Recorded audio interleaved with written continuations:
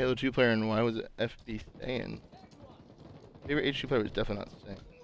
One minute remaining. Probably like